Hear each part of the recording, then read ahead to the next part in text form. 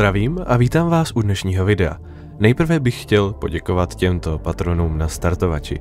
Pokud byste také chtěli podpořit kanál finančně, stačí se podívat do popisku videa, kde naleznete veškeré potřebné odkazy. Zdravím a vítám vás u dnešního přenosu. V současné chvíli se nacházím na palubě křižníku Aspida, lodi náležící k jedné z několika menších flotil Soulblade, vedené válečníky kapituly Imperial Fists. Jak stojí v rozkazech Lorda Regenta, je mou povinností pečlivě schraňovat informace o tom, jak válka proti Zínous probíhá a informovat veřejnost. No a přesně tak tedy činím. Plavidlo, na němž jsem trávil čas předtím, se muselo vzhledem k nutným opravám přesunout do doku a nemusíte se tedy bát, že by bylo zničeno. Hm, zatím.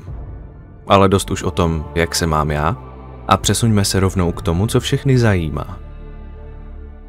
Soul Blades se neustále pohybovali po galaktickém bojišti a doráželi na nepřítele dnem i nocí, kdekoliv to šlo. Tyto útoky zaznamenávaly určité úspěchy, o tom není pochyb, ale k zastavení tyranických flotil Nautilon a Prometor to rozhodně nestačilo. Obránci stále častěji naráželi na uskupení Zinous tak obrovská, že zakrývala celé kontinenty. Nepřátelské flotily se ale nepohybovaly moc rychle, což poskytovalo císařovým věrným jakousi výhodu. Tyranidé pluli vesmírem relativně pomalu a nepostupovali přímo, ale spíše se v úvozovkách toulali prázdným prostorem. Když například postupovali jedním směrem a odhalili lidmi nebo nějakými jinými zínou z obydlenou planetu, vyslali k ní menší úlomek, v úvozovkách flotily, a zbytek vyčkával na místě. Díky tomu měli Soulblades čas se po náročných bitvách přeskupit a doplnit síly, což bylo více než užitečné. Nepřítel pomalu a metodicky sklízel veškerou biomasu od těch nejvyšších stromů po ty nejmenší bakterie a užitečné minerály. Ty sice pod pojmem biomasa úplně hledat nemůžeme, ale i tyranidé potřebují vápník, fosfor nebo železo. Provrtávali se do těch nejhlouběji vybudovaných bunkrů a nejskrytějších asteroidových stanic, aby mohli využívat veškeré zdroje do posledního drobku. Na jednu stranu je takový postup výhodný, jelikož umožní tyranidům nabrat na síle, na druhou stranu je však až příliš dlouhou dobu upoutá na jedno místo. No právě toho mohli Soul Blades skvěle využívat. Jak jsem již řekl, obrané flotily trpěly značné ztráty, ale jakékoliv poškození bylo zcela vykoupeno schopností pohybovat se mnohem rychleji než jakýkoliv útvar běžné velikosti. Elitním jednotkám Impéria se dařilo nepřátele překvapovat v ty nejméně vhodné okamžiky, ať už to bylo při těžbě a zpracování surovin, nebo těsně po rozdělení na menší flotily. Znovu a znovu takto úspěšně udeřili na důležité cíle, jakými byly například ty největší bioformy produkující hive ships nebo monstra, jenž koordinovala operace na celých planetách. V případě, že se podařilo zlikvidovat takovouto bestii, organizace celého menšího roje se mohla docela dobře zhroutit. Když se toto stane, není těžké zbytek tyranidů na místě zlikvidovat, neboť oni vedoucí bioformy jsou zcela klíčové pro vedení, logicky, operací. Nevždy se však podařilo a některé Soulblades se z těchto nesmírně riskantních, odvážných misí už nevrátili. Bez ohledu na ztráty však imperiální obránci doráželi a neměli v plánu se nechat pohltit jen tak bez boje. Tyranidé se samozřejmě pokoušeli proti těmto útokům bránit, ale v pronásledování opět hrála roli velikost jednotlivých uskupení. Soulblades byly opravdu velmi rychlé a tak se jim dařilo uniknout dostatečně daleko na to, aby na ně neměl vliv onen dříve zmiňovaný stín produkovaný tyranickými roji. Výhodou bylo, že menší roje produkují stín menší a tak se dá snáze uniknout jeho působení. A jakmile se toto podařilo, stačilo vstoupit do imateria a přesunout se tam, kam bylo právě potřeba. Některé Soul Blades operovaly trochu jinak a místo útoků typu udeř a uteč si členové například Astartes, našli dobře bránitelnou lokaci, ať už se jednalo o asteroid nebo planetu, kde se rozhodli zakopat a vyčkat na neodvratný příchod nepřítele. Na první pohled by se mohlo zdát, že je to hloupost a že kdokoliv, kdo by takto učinil, zemřel by nadarmo. Jenže to není tak docela pravda. Každá takováto heroická oběť zpomalila tyranický postup a umožnila jiným obráncům, aby se mohli lépe připravit a třeba i uspět. Postupem času to začínalo vypadat, že nepřítel slábne. Roje se zmenšovaly a operovali stále chaotičtěji. Ovšem, naděje je jednou z největších zbraní všech nepřátel lidstva. Nikdo neměl nejmenší tušení, že se zatím do boje nezapojily všechny nepřátelské síly. A zatímco Soulblades se pokoušeli držet Nautilon a Prometor na úzdě, ze spodní strany galaxie vtrhla do imperiálního prostoru třetí masivní flotila, o níž do té doby nikdo nevěděl.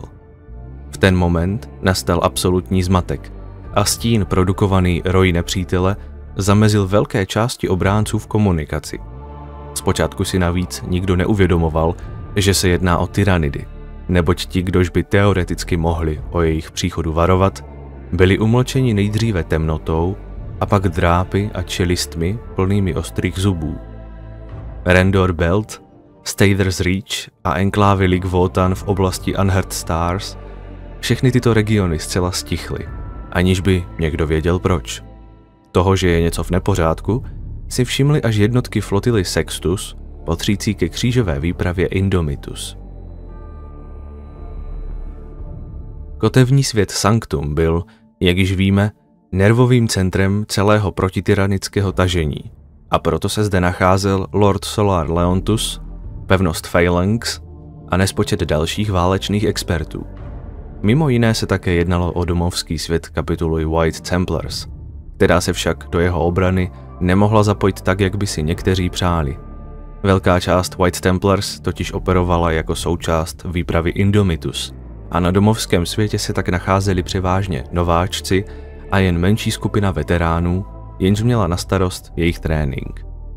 Mimo to však přispěli i svým služebnictvem a obrněnou technikou. Vzhledem k tomu, že se jednalo o takto důležitý svět, byl Sanctum náležitě bráněn. O ochranu proti hrozbám z vesmíru se v těch dnech staralo bojové uskupení Paustus pod velením Tysona Jakobeho. Ten původně očekával, že jeho největším problémem alespoň než přijdou tyranidé, pokud přijdou, budou především piráti, heretici a jiný, relativně lehko zlikvidovatelný odpad. Chápal však, že Lorda Solara je třeba bránit všemi dostupnými prostředky, i kdyby jich mělo být zbytečně moc. Proto své jednotky rozdělil na menší skupiny a některé vyslal hlídkovat po systému Formidire, v němž Sanctum leží, a zbytek se měl postarat o bezpečnost místního subsektoru Bastior. Po nějakou dobu vše probíhalo tak, jak si Jakobe představoval. Běžní piráti a podobný snadno odstranitelný plevel. Jednoho dne ale zcela bez jediného nouzového volání zmizely dvě z hlídkujících flotil. Zatímco poslední ohlášená pozice hlídkové flotily 3 byl vzdálený systém Stangheld, flotila číslo 4 podle všeho operovala někde úplně jinde, konkrétně v systému Iron Tower. Jen podotýkám, že tyto dva systémy se nenacházely úplně nejblíž jeden druhému. Samozřejmě fakt, že se uskupení přestala hlásit, nezůstal nepovšimnut, a tak velení vyslalo flotily 2 a 11, aby situaci vyšetřili. Určitě pak nebude překvapením, když řeknu, že i tyto jednotky zmizely zcela beze stopy. Tyto události velitele Jakobeho značně znepokojily a okamžitě se rozhodl varovat štáb Lorda Solára. Když tak učinil, svolal svá zbývající plavidla do systému Kirkale. Zatímco námořníci netrpělivě očekávali další velitelovi rozkazy, na okraji systému se objevilo několik imperiálních varpových signatur, překvapivě patřících plavidlům třetí a jedenácté flotily. Když se tito nově příchozí přiblížili na dosah senzorů, Ukázalo se, jak strašlivé škody utrpěli předtím, než se jim podařilo před nepřítelem uprchnout. Na mnoha místech narušené trupy, nefunkční nebo těžce poškozené systémy, nespočet mrtvých a zraněných. Ti, kteří přežili s hrůzou, hlásili, že tyranidé přichází. Nejednalo se však o nějaké z dalších úlomků Nautilonu a Prometoru, ale o třetí, snad ještě masivnější flotilu. Informace osobně předané přeživšími často nedávaly smysl, ať už proto, že daný jedinec neměl přehled o situaci, nebo protože jeho nebo její mysl zcela pohltilo šílenství. Videozáznamy a data senzorů však mluvily jasně a nespochybnitelně. Gigantické masy tyranických plavidel začaly pohlcovat systémy na okrajích subsektoru Bastior, tedy za jakousi pomyslnou bojovou linií, v prostoru dříve považovaném za relativně bezpečný. Toto zínou z uskupení bylo pojmenováno Grandilus a obratem označeno za nebezpečí úrovně Vermilion Alpha. Jednalo se tedy o hrozbu té nejvyšší úrovně. V hodinách a dnech po obdržení těchto strašlivých zpráv se nikdo neodvážil odhadovat skutečný rozsah tohoto problému, ale velitel Jakobe předpokládal, že se odehrává ten nejhorší možný scénář, s jakým by dokázal přijít. Věděl také, že je jeho povinností postarat se o to, aby tyranidy zastavil nebo aby se o to minimálně pokusil. Lordu Leontovi se nesmělo nic stát, neboť bez jeho znalostí a dovedností by se situace mohla imperiálním silám velmi rychle vymknout z rukou. Vyslal další varování, jak na kotevní svět Sanctum, tak na sektorové námořní velitelství a se svou nyní schromážděnou flotilou se vypravil do akce. Jakobeho volba byla velmi odvážná, ale stejně tak nebezpečná. Jakobem vyslaná varování se šířila sektorem rychlostí blesku i přesto, že stín začínal pomalu ale jistě dusit astropatickou komunikaci a různé světy reagovaly na tyto novinky různými způsoby. Panika a rabování zachvátili Letnor a Gainer's Hope. Naopak na Unspake, kde měl velký vliv kult svatého vence mučetníka, se lidé začali radovat a veselit – Elity systému Gallowspire odmítali akceptovat, že by se něco takového vůbec mohlo stát. Co pak by božský císař něco takového dopustil? Jak by mohli nějací odporní Xenos takto katastroficky vymanévrovat a překvapit síly lidstva? Nepokoje nabírali na síle, až jednoho dne nejvyšší otec Nihilus prohlásil, že už jen zmínka o flotile Grandilus bude považována za herezi a s tím, kdo by se o ní odvážil promluvit, bude patřičně jednáno. My samozřejmě víme, jaké tresty náleží heretikům. Jistě neříkám, že něco takového schvaluji, neboť v mnoha případech je obviněný zcela nevinen. Jenže známe lidstvo. Rozkazy nejvyššího církevního představitele Najela však stály v přímém rozporu s akcemi místního vojenského velení, které se usilovně připravovalo na neodvratnou invazi Xenos, na jedné straně tedy stáli věřící, kteří odmítali akceptovat fakt, že dříve nebo později se nepřítel objeví, a na straně druhé byli ti, kteří věděli, že nepřítel přichází. Velmi brzy poté byly vypáleny první rány konfliktu mezi služebníky Impéria, který vešel ve známost jako válka zavřených očí. Zatímco systém Gallowspire se propadal stále hlouběji do anarchie a krve prolití, Obránci jiných systémů odpověděli na blížící se hrozbu s odhodláním a odvahou. Od vysokých věží Welmu po aerodromy Agrandie a písečné pustiny Cengránu se všichni, kdo mohli pozvednout zbraně, začali organizovat do dobrovolnických oddílů a budovat obraná postavení. Je až dojemné, kolik lidí je ochotno bojovat a zemřít za pána lidstva. I když roli v tom nejspíše hraje i to, že neměli moc na výběr. Regimenty Astra Militarum se postupně opevňovaly na klíčových pozicích ve městech či zaujímaly pozice na hradbách mocných pevností, a zatímco obrněné jednotky se zakopávaly a zaměřovaly svá děla na ideální pozice, kde by se jim mělo podařit zlikvidovat co nejvíce nepřátel při co nejmenší spotřebě munice. Kněžstvo boha ve mezi tím otevíralo obrovské podzemní síně, v nich spaly mocné generátory – když se jim podařilo tyto stroje probudit, napájeli tyto zdroje energie obrané štíty a orbitální lasery schopné odrážet celé flotily. Tedy flotily v normálním lidském měřítku, nikoli v tom tyranickém. Do akce se chystaly i stroje imperiálního letectva a posádky orbitálních obraných stanic. Jak Xenos postupovali stále hlouběji do Bastioru, Lord Solar Leontus a jeho štáb si začali uvědomovat jednu důležitou a velmi znepokojivou věc. Ani celá moc schromážděná v subsektoru z nejvyšší pravděpodobností nebude stačit na zastavení tyranidů. Ať už to byl plán nebo jen prostá náhoda, Grandilus obešel hradbu Soulblades a pronikl přímo do méně chráněného týlu imperiálních sil a ani ty nejkritičtější odhady původně nepočítali s tím, že by se nepřítel mohl s takovým množstvím jednotek dostat až tak daleko. Dříve zmiňované systémy Iron Tower a Stangheld se velmi rychle dostali do stínu, který je odřízl od komunikace a víceméně znemožnil cestování warpem. Přesně to samé se odehrávalo v systému Raidat, takže ani tamnější obránci neměli jak požádat o posily nebo uniknout ze smrtelné pasti. S tím, že světy Galospyru devastovala občanská válka, zjistil Lord Solar, že v celém subsektoru drží Imperium spolehlivě už jen tři systémy. Castile, Fire Mode a ten nejdůležitější Formidire. Lord Leontus došel k závěru, že je nejvyšší čas spustit takzvaný protokol Sanctuary. Nechal schromáždit co nejvíce astropatů a vyslal ten nejsilnější možný signál o pomoc směrem k segmentu Solar, konkrétně k dalším kotevním světům. Nutno podotknout, žádný z nich nebyl moc blízko. Nechal také kontaktovat zbývající Soulblades, s nimiž ještě navázat kontakt Shell.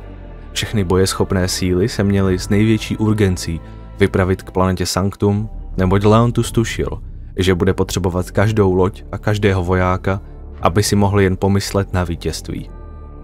Soulblades měli v průběhu cesty k Sanctu pozbírat veškerou munici, palivo a další stále žijící císařovi bojovníky, ale v žádném případě nesměli riskovat, že by je tyranidé dostihli.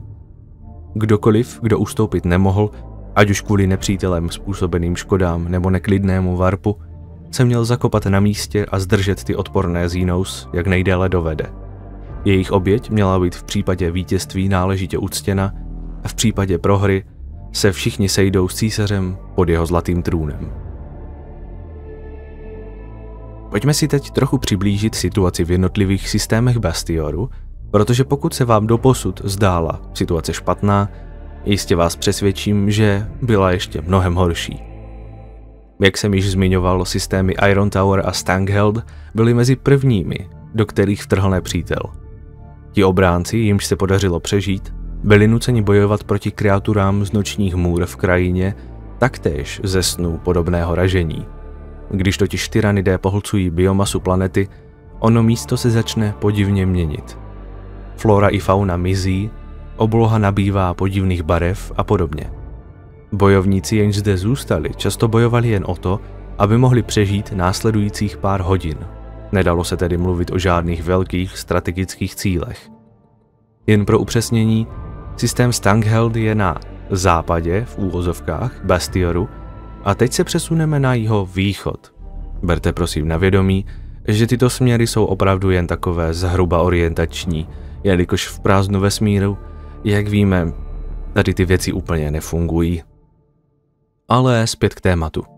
Tedy na jeho východě Bastioru ležela dříve mlhovina Witchtooth a hned vysvětlím použití minulého času. Do této mlhoviny byl zakázán vstup, neboť podle určitých skupin Inkvizice a adepta mechanika zde přebývaly jakési neznámé, podivné entity, nazývané v jednotlém čísle Dustgeist. Mnoho jiných si myslelo, že se jedná jen o zkazky starých námořníků, jako kdysi na staré teře. I takovýto skeptici se však pro jistot drželi od mlhoviny dál. Tyranidé tyto informace neměli a i kdyby je měli, pravděpodobně by jich stejně nedbali. Na cestě hlouběji do sektoru tak vpluli přímo do mlhoviny. Co se stalo pak, nám není úplně jasné. Pravděpodobně již nežije nikdo, kdo by mohl potvrdit v současnosti panující teorie a domněnky. Někdo tvrdí, že posádka výzkumné stanice RO-26, umístěné v Mlhovině, dokázala Geisty ovládnout a učinit z nich zbraň. Jiní zase, že se musela stát nějaká strašná nehoda. Ať je pravda jaká chce, V současnosti se na místě nachází jakýsi děsivý prachový malstrem, v jehož hlubinách proti sobě válčí tyranidé, podivné entity a vojska mechanika. Systém Keepgen řešil problémy poněkud odlišného rázu a hlavně barvy. Na tamnějších světech se totiž usadila horda zelených kůží pod velením Orsgoga. Jakmile se obránci museli začít věnovat tyranidům, orkové vyrazili vpřed a zdevastovali, co jen mohli. Na jeden z těch posledních spolehlivě vydržených takzvaných posvátných systémů se pro změnu vrhli orkové pod vedením takzvaného Monstabose. Jak můžeme vidět, tyto Xenos je opravdu potřeba vyhladit až úplně do posledního a jimi držená místa očistit ohněm, protože jinak se vždycky vrátí. Na severozápadě Bastioru se nachází pás asteroidů zvaný St. Catherine's Tears. Zdá se, že tento subsektor nedá na své svaté dopustit. V tomto poli vesmírného kamení se nachází množství těžařských stanic, z části postavených impériem, z části ligami Votan. Nedá se říct, že by spolu obě strany navazovaly nějak zvlášť silná přátelství, ale občas spolupracovali, především co se týče likvidace orkských pirátů. Čas na opravdová spojenectví přišel v momentě, kdy se mezi asteroidy objevila tyranická plavidla. Takto započaly kruté boje, skládající se především z bleskových výsadků a operací v klaustrofobických prostředích o něch těžařských stanic, dělnických habitatů a hlubokých šachet. No a nakonec se přesuneme do systému Palat, skládajícího se s lidskou rukou netknutých, velmi krásných světů. Nikdo tyto planety nekolonizoval, jelikož se neodvážil porušit inkviziční dekret zakazující jen vstup do systému, natož snahy o budování kolonií. Ovšem, tento dekret vstoupil v platnost před několika tisíci lety a vysvětlení pro jeho existenci nedokázal nikdo najít. Jakmile však do palatu dorazili tyranidé, všichni i hned pochopili, proč bylo zakázáno se tam vypravit. Jakmile totiž tyranické bioformy začaly přistávat, okamžitě se proti nim postavila místní hyperagresivní fauna a flora. To ale nebylo zdaleka vše. V reakci na dění na povrchu se hluboko v podzemí začaly probouzet miliony let spící komplexy hrobek, které začaly opouštět mocné nekronské armády. A určitě nebudete překvapeni, když řeknu, že ani nekrony to nekončí. Zdánlivě odnikud se totiž různě po planetách systému začaly objevovat dlouho zahalené webway portály, z nichž vystupovaly jednotky Eldar, jak těch z putujících světů, tak Drukary. Netrvalo tedy dlouho a prokleté rajské světy systému palet pohltily brutální boje mezi několika stranami. Zatímco nepřítel postupoval, imperiální síly se zoufale snažili přeskupit a přejít do protiútoku. Našli se však tací, které tento úder donutil zamyslet se. Flotila Grandilus se totiž z nějakého důvodu chovala úplně jinak než dříve příchozí Nautilon a Prometor. Zatímco tyto dvě se spíše rozpínaly do různých sektorů a postupem času se drobily, což umožňovalo Soulblades účinně proti nim bojovat, Grandilus vyrazil přímo na subsektor Bastior a nikam jinam. Strategii toto jednání překvapilo, neboť tyranidé nejsou známí takto komplexním plánováním. Dokonce i ti největší experti z Ordozinos dokázali jen hádat, co se stane dál a netušili, jak to, že Grandilus se chová takto odlišně. Dříve zmiňovaný rozkaz Lorda Solara Leonta se dostal ke značnému počtu imperiálních sil a do posvátných systémů Castile, Pyrmouth a Formidire se začalo stahovat velké množství plavidel všeho druhu, od křižníků a bitevních lodí po transportéry plné vojáků, válečných strojů, munice a dalších zásob. K smrti vyčerpaní adepti neměli na odpočinek čas, neboť zkontrolovat a odbavit všechny nově příchozí by mohlo rozhodnout o životě či smrti všech kolem nich. Každý bolt, každý zásobník do pušky a každý kus munice do děla se totiž počítal. Právě přilétající regimenty byly vyslány, aby posílili již existující pozice a každá loď se stala součástí nějakého uskupení, určeného buď k průzkumu nebo obraně. Ochrana tří posvátných světů sílila každou hodinu a začínalo to vypadat, že v celém vesmíru není moci, která by dokázala tyto fortifikace překonat. Kdokoliv se doteď nedokázal dostat do jednoho z těchto tří systémů, byl odsouzen k tomu, aby poznal děs a hrůzu, jež do subsektoru přinesla flotila Grandilus. Někteří se pokusili schovat do bunkrů hluboko pod zemí, jiní se nalodili na beznadějně přeplněná plavidla určená k transportu surovin, nikoli v lidí. A pak tu byli ti, jenž se prostě a jednoduše vzdali. Beznaděj je mocný protivník. Ti, jimž se podařilo prchat na palubách vesmírných plavidel, si však nemohli být přežitím jistí. Tyranidé je v mnoha případech dostihli a vpustili mezi nebohé civilisty své válečnické bioformy, které neznají slitování. Kdo se schoval, často vydržel o něco déle, ale i v jejich hlubokých ferobetonových norách je bioformy Xenos nalezly a proměnili tyto úkryty v jatka. Co se týče těch, kteří odmítli bojovat, asi nejhorší případ se odehrál na Letnoru, kde už velmi dlouho vládla silná a značně zvrácená a zdegenerovaná šlechta. Ti se místo příprav na boj vrhli do víru zvrhlostí a nakonec to nebyli tyranidé, ale místní vojáci, kdo se rozhodl šlechtu zlikvidovat a změnit jejich sídla na poslední pevnůstky odolhávající přívalu monster z vesmíru. Jistě našlo se mnoho takých, kdo ztratili nervy a nedokázali bojovat, ale na každého z nich připadlo nepoměrně více hrdinů, kteří s odhodláním a odvahou pozvedli jakoukoliv zbraň a rozhodli se, že nenechají nepřítele postoupit ani o krok dál, i kdyby je to mělo stát život. Někoho k tomu motivovala víra v císaře, jiné touha chránit domov a své milované. Existovaly i případy, kdy určité jedince nebo rovnou celé jednotky nepoháněly žádné pozitivní emoce nebo myšlenky, ale například takové věci jako nenávist. Ať už vůči těm, kdo je zdánlivě opustili a nechali je na pospas hordám nepřátel, nebo právě vůči těmto ohavným Xenos. V tomto případě by se však nenávist nejspíše dala považovat za cosi pozitivního, neboť zmařila nespočet tyranických životů na různých frontách. V systému Iron Tower, konkrétně na planetě Donjor, se nacházelo několik různých regimentů, ale tím nejdůležitějším byla kordesanská lehká pěchota. Jedním z členů byl totiž kapitán jménem Veshwald. Jemu se podařilo schromáždit skupinu přeživších a udržet je bojeschopné bez ohledu na to, že všechna moře Donjoru se změnila na kyselinu určenou k trávení biomasy. Tak obrovské bylo jeho charisma a tak silná jeho vůle, že vojáci, kteří mu stáli po boku, bojovali i přesto, že planeta se kolem nich měnila na slis a jiné odporné látky. Ve vzdáleném systému Raidat se tyranidé zaměřili na agrosvět Kornukog, jehož orbitální obranu zdevastovali bez větších problémů během velmi krátké doby. Když dosedli, v průběhu periody známé jako 9 dní krve, zcela zmasakrovali obránce držící pásmo opevnění nazývané Maria Val Line – Mohlo by se zdát, že toto byl konec a nepřítel se brzy měl pustit do konzumace, ale opak byl pravdou.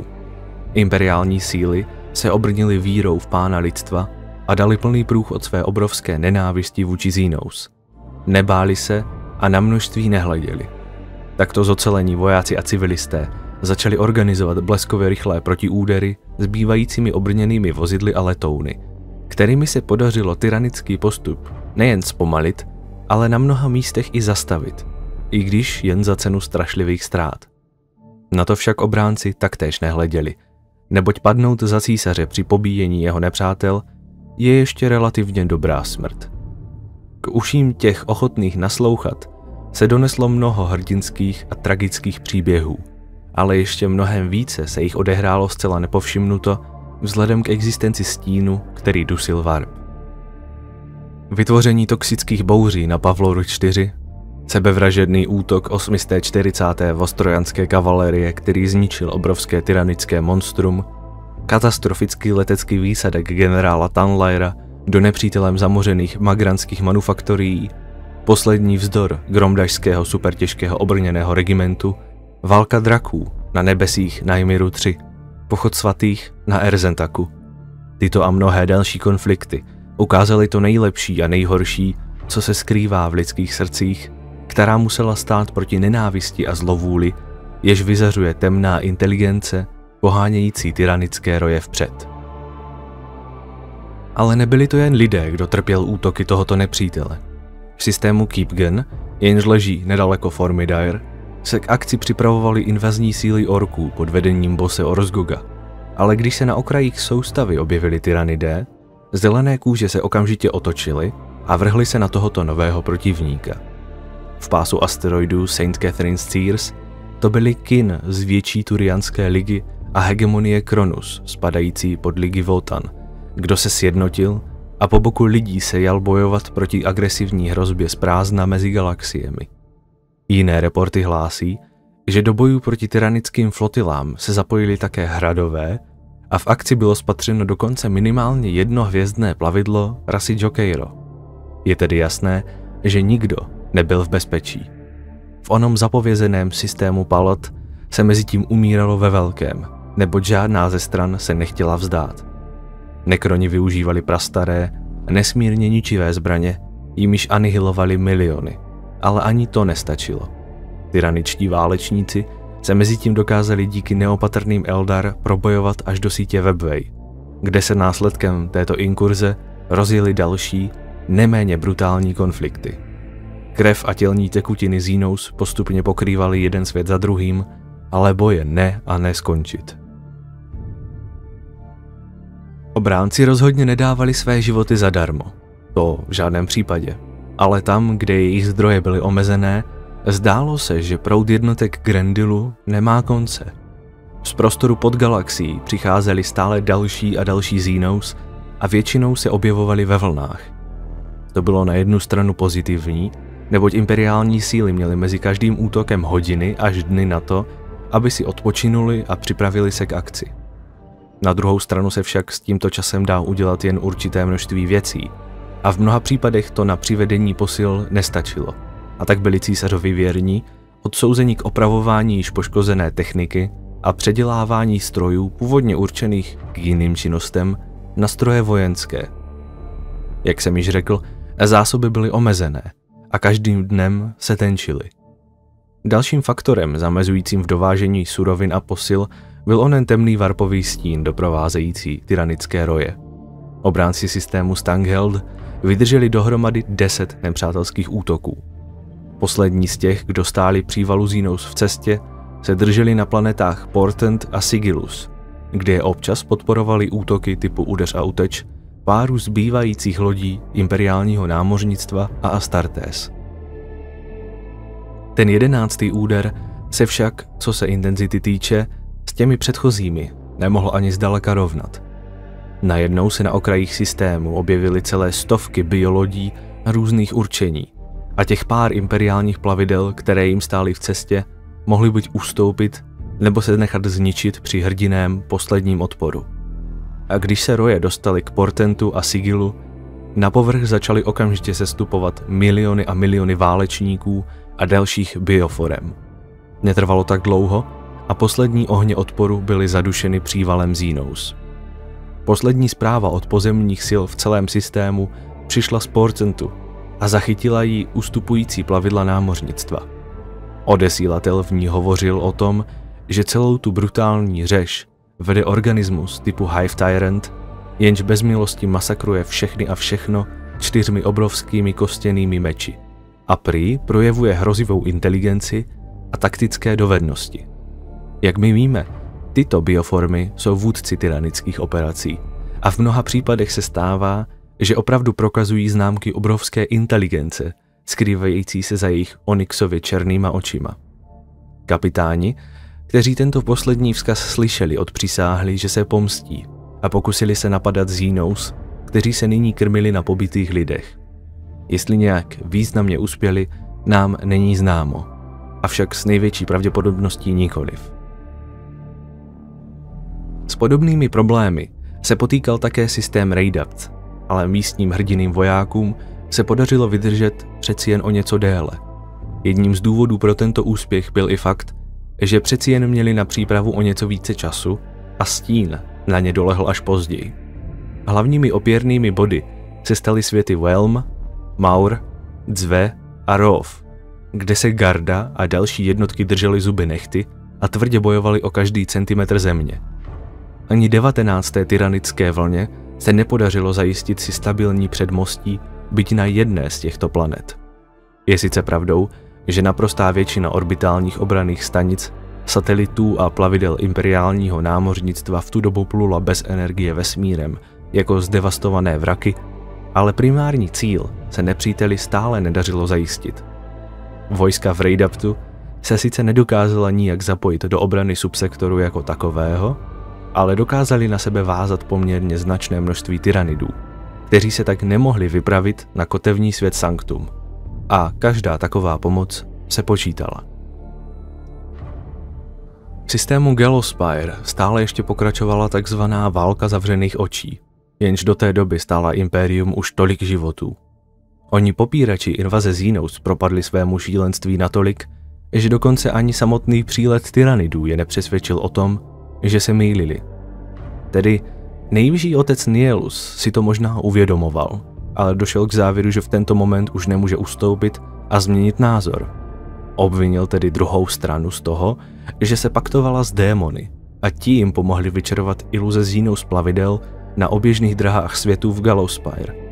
Někteří z těch, kdož jej následovali do zatracení, začali pochybovat o správnosti své věci. To ano, když se tyranidé objevili i na povrchu a začali vraždit všechny bez rozdílu. Jiní však, stejně jako Nielus, se rozhodli pokračovat v bláznovství a popírali pravdu i ve chvílích, kdy jej trhali na kusy xenoformy z hvězd. Rozdělení idiocí a nenávistí obránci Galospire strašně trpěli. Jak odpor ve zbytku subsektoru postupně slábl, Grandilus pomalu obracel svou pozornost na tři posvátné systémy, tedy ty, jež se podařilo dobře opevnit a připravit. Prvním z této trojice, který se dostal pod útok, byl systém Pyre Mode. Kolem této hvězdné soustavy se nacházela jakási bouřící oblaka vyzařující extrémně silnou radiaci a obránci doufali, že se jim tento fakt podaří využít ve svůj prospěch. Když však flotily protivníka dorazily, nešlo vidět, že by je tato překážka jakkoliv zpomalila. Biolodě do oblasti zkrátka vstoupily a následně ji opustili bez jakýchkoliv zjevných potíží. Dokonce by se dalo říct, že problémy byly způsobeny obráncům, neboť tyranidé nyní způsobovali nemoc z ozáření a další komplikace spojené s radiací. A to nebyl všemu neštěstí konec. Na scéně se totiž objevili další Xenos, jimž se podařilo radiace využít. Z ničeho nic se z prázdna vesmíru vyřítila flotila těžce zmutovaných orků pod vedením individua jménem Monster Boss of Glowing Rock. Fire Mode byl sice extrémně opevněn, ale místní velení opravdu nepočítalo s tím, že se budou muset potýkat s dvěma invazemi Xenos místo jedné.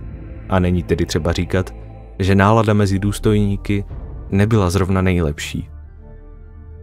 Následovala série tvrdých vesmírných střetů, při nichž bylo ztraceno 14 vesmírných stanic a průmyslový měsíc Eleide, který zničila jakási tajemná nehoda, jejíž pravá podstata byla v podstatě i hned důkladně utajena.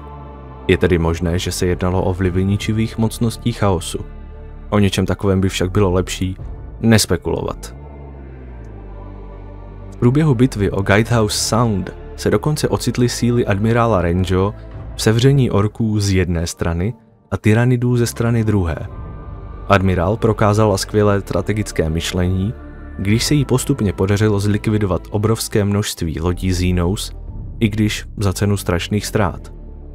V jednom bodě dokonce přišla o svou vlastní vlajkovou loď, plavidlo třídy Oberon zvané Spirit of Flame. Postup nepřátel však nakonec zastavit nedokázala a po tomto střetu následovaly pozemní invaze.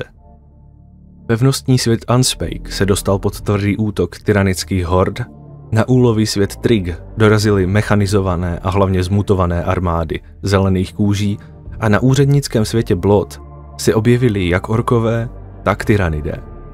Jediným štěstím obránců byl fakt, že Xenos se masakrovali vzájemně se stejnou vervou, s jakou se opírali do imperiálních sil – pokud se měli posvátné systémy udržet do doby, než dorazí posily z jiných částí impéria, situace se však musela změnit. Nebylo totiž možné držet současné pozice a zároveň trpět takové ztráty. Zatímco ty dva vedlejší posvátné světy byly podrobovány útokům ve vlnách, Formidire se ocitl pod útokem konstantním a nesmírně brutálním. Nikdy nekončící proudy biologických plavidel protínaly rovinu ekliptiky, tedy tu rovinu, v níž obíhají světy, směrem ke kotevnímu světu Sanctum, zatímco jiné roje obkličovaly systém jako chapadla nějakého strašlivého boha z temných hlubin vesmírného prostoru. Každou hodinu se objevovalo stále více a více nepřátelských lodí, jedna větší než druhá. Augury, tedy senzory sledující dění ve vesmírném prostoru, museli časem přestat zobrazovat jednotlivé tyranické lodě, ale přejít rovnou na celé skupiny. Neboť po jedné by se nevlezly lodě ani na všechny obrazovky ve velícím centru. Stín ve Varpu houstl a nejen, že dusil veškerou astropatickou komunikaci a varpovou dopravu, ale šířil i zoufalství a beznaděj, jež zasahovali i ty nejmocnější obránce, snad výjima přítomných Astartés. Situace se zhoršila natolik, že od určitého momentu mohli obránci na površích jednotlivých planet Formidairu vidět tyranické flotily zastínující hvězdné pozadí. Až tak mnoho nepřátel bylo a není se čemu divit, že i jindy stateční vojáci propadali děsu a ptali se svých velitelů, jak je vůbec možné se něčemu tak strašlivému ubránit. A právě v tento moment nejvyšší krize se ukázalo, že Arcadian Leontus není Lord Solar jen tak nadarmo. Lord Leontus velmi dobře věděl, jaké jsou průvodní jevy tyranické invaze, neboť se vždy snažil zjistit si o svém nepříteli co nejvíce. Rozhodl se proto předem natočit povzbuzující proslovy a nahrát mše, které následně nechal rozeslat na každou základnu a do každého komunikačního centra z rozkazy, aby byly tyto soubory přehrávány opakovaně od momentu, kdy nepřítel začne útočit. K tomu se také rozhodl rozmístit mnoho dalších polních kněží mezi jednotky, aby sloužili jako vzpruha pro ochabující víru a morálku gardistů. Jejich chorály a verše nyní zněly v pozadí Leontových proslovů o hrdinství a odhodlání, které byly vysílány na každé dostupné obrazovce a na každém volném Vox kanálu. Nejednalo se samozřejmě o perfektní řešení, protože perfektní řešení neexistuje. Rány komisařské pistole se nejednou ozvaly ze zákopu nebo bunkru, ale v naprosté většině případů se podařilo posílit nejistého ducha imperiálních obránců. Ruce se přestaly třást, srdce se zpomalila. Každý voják znal svou povinnost a byl ochotný zemřít za pána lidstva. A tak místo toho, aby se hrdiní muži a ženy ve zbraní krčili v rohu jako slabá zraněná lovná zvířata, aktivně vyráželi kupředu a odporovali invazním silám tyranidů kdekoliv bylo potřeba s odhodláním a hlavně odvahou. Nenechali se zlomit strachem a v první zkoušce tedy obstáli. Boje začaly nesmírně tvrdými bitvami kolem průmyslového světa Fraktam, výzkumného světa Lembik a úlového světa Ogram. Orbitální děla na pevnostním světě Resolutions Air pálila dnem i nocí, dokud jejich hlavně nežhnuli rudě – ale nepřátel se z nebe zvalilo stále více a více. Dokonce i svět Krematos, který byl už dávno spíše hrobkou než příbytkem proživé, se stal místem brutálních bojů mezi obránci a infiltračními organismy, jimž se podařilo proniknout skrze rozsáhlé katakomby přímo do připravených lidských pozic. Na feudálním světě Jovengast se zpočátku nedělo nic, co bychom mohli označit za příliš zajímavé – ale to pouze proto, že nepřítel vyčkával na správný moment. Jakmile ten nadešel, schudlou, utlačovanou populaci vybičovali k povstání kulty Gene Stealers. Jejich žloutkami ve vedení těchto povstání se stali šlechtici rodu Velkien. Jovengast tedy nebyl vystaven útoku běžnému, ale o nic méně nebezpečnému. Rebelie se šířila bleskovou rychlostí a velmi brzy zachvátila víceméně celou severní polokouli – Loyalistická kavalerie, stejná jako kdysi ta na teře, a regimenty pěšáků v těžkých zbrojích a lučištníků s dlouhými luky stály proti mimozemským monstrům a zrádcům, jež jakýsi tajemný dárce vybavil pašovanými střelnými zbraněmi. Nepříteli se však nakonec zvítězit nepodařilo neboť se do akce vložily jednotky Knights rodů Terin a Griffith, které přispěchaly císařovým věrným na pomoc. Boje brzy zuřily na nespočtu front skrze celý systém Formidire. Imperiálním silám se sice dařilo nepřítele odrážet a občas dokonce i přecházet do protiútoku, ale nikdo nemohl doufat, že se podaří zarazit postup té největší části flotily Grandilus, jež směřovala přímo na kotevní svět Sanctum, klíčovou pozici imperiálních sil v subsektoru Bastior. Flotily námořnictva, Astartes a Mechanika se snažili ze všech sil a podařilo se jim zničit nebo těžce poškodit nespočet zínou z plavidel. Ale ani to nestačilo. Místo každé zničené lodi protivníka i hned zaujala další a zdálo se, že tento proces nikdy neskončí. Netrvalo dlouho a obránci se začali směřovat s tím, že útok na Sanctum se odvrátit nepodaří a že i zdejší vojska se budou muset potýkat s odpornými bioformami všeho druhu. Mezi prostými vojáky se také postupně objevovaly zvěsti, že tyranidé nějakým způsobem dokázali pochopit důležitost tohoto světa a postupují rozhodnutí jej zničit stůj co stůj. Konec konců však vůbec nezáleželo na tom, zdali to byla pravda nebo ne. Lord Leontus už totiž neměl žádné rezervy, které by snad mohl povolat do akce. Každý voják v systému již zaujal svou pozici a stál proti hrozbě, jakou srdce impéria nezažilo už několik tisíc let. Co se týče dvou zbylých posvátných systémů, není třeba zdůrazňovat, že situace se nevyvíjela vůbec dobře. Jak už víme, v systému Pyrmouth řádili také zmutovaní a těžce mechanizovaní orkové vedení Monstabosem. Těm se podařilo víceméně zlikvidovat veškerý odpor na povrchu úlového světa Trig a obránci se tak museli stáhnout do podzemí. Ne všichni se však stihli ukrýt v dobře opevněných bunkrech a množství vojáků tak muselo bojovat v katakombách a kanalizačních systémech. Co se týče pevnostního světa Unspake, více jak polovina povrchu byla ztracena ještě předtím, než vůbec začal útok na Sanctum. Obrovské ztráty, jak územní, tak na životech, však nijak nezabránili místním jednotkám gardy a dalším obraným silám v odhodlaném a tvrdém odporu. Admirál Renjo již se v počátečních fázích bojů relativně dařilo likvidovat útočníky, se po zničení své vlajkové lodi ocitla v záchranném modulu, směřujícím na povrch planety smrti Grail. Avšak kontakt s ní byl pravděpodobně při sestupu atmosférou ztracen. Pokud zemřela, jednalo by se o velice těžkou ránu pro námořnictvo, neboť důstojníci jejího kalibru jsou nesmírně vzácní. Další významnou osobností, která pravděpodobně v průběhu bojů padla, byl široko daleko známý princeps Ardox, vůdce titánů z Legio Aburor. Podle některých informací zničil jeho titán nepřítel při bojích na Vohidu, světě věčně utopeném v černí noci. Za nejvíce znepokojivý se však dal označit vývoj na mrtvém a zdánlivě nezajímavém světě Restur. Zde se v určitém bodě začaly objevovat jakési podivné struktury, zjevně stavěné tyranidy. Nikdy dříve se nic takového nestalo a Impérium nemělo zkušenosti s tím, že by tento nepřítel cokoliv stavěl. Díky tomu tak struktury zůstávaly velmi nepříjemnou záhadou, vyvolávající v imperiálních důstojnicích značné obavy. Druhý z dvojice posvátných systémů, Castail, si vedl o něco málo lépe, což však neznamenalo, že by místní síly snad trpěly menší ztráty. Většina bojů se však stále ještě odehrávala v prázdnu vesmíru, nikoliv na površích zdejších planet. Lodě bojového uskupení Faustus neustále dorážely na přibližující se tyranidy a relativně se jim dařilo odhánět protivníka od pevnostního světa Raxlon a úlového světa Rabory. Když se však tyranidům přeci jen podařilo přistát, boje velmi brzy dosahovaly zcela apokalyptických rozměrů a zachvacovaly téměř každý kilometr čtvereční.